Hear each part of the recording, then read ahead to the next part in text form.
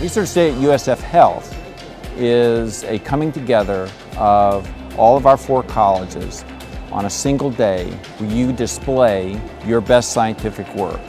And we usually do that in sort of a poster-like format and many people come by and ask questions. A few of them are judges and the collaborations uh, potentially could develop.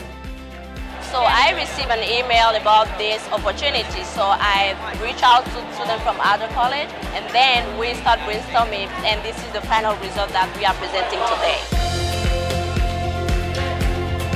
This has grown, I think, every year since I've been here, and the quality of the presentations are exceptional, and the passion and the energy of the students are infectious.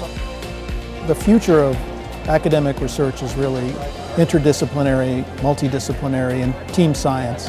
USF Health provides an environment that actually multiple students from different colleges is able to interact and collaborate together. That's when we end up coming up with this project.